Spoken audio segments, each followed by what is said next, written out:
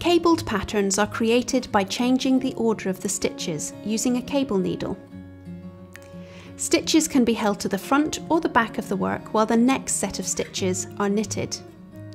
If the pattern tells you to cable 6 stitches front, or C6B, this means the cable is 6 stitches wide.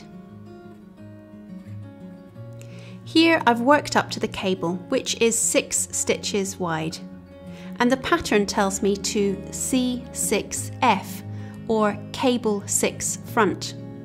Normally this means that half the stitches should be put on the cable needle.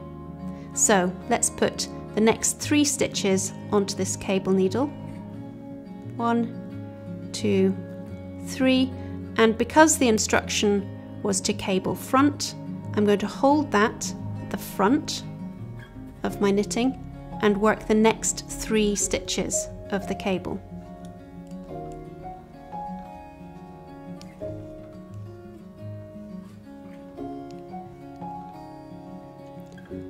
And now I'm going to work the stitches from the cable needle.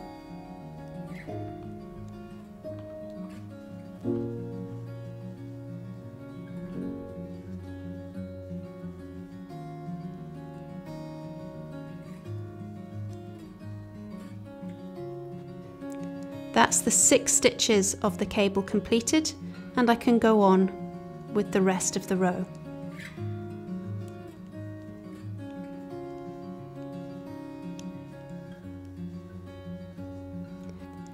And you can see that this creates a left leaning twist in the cable.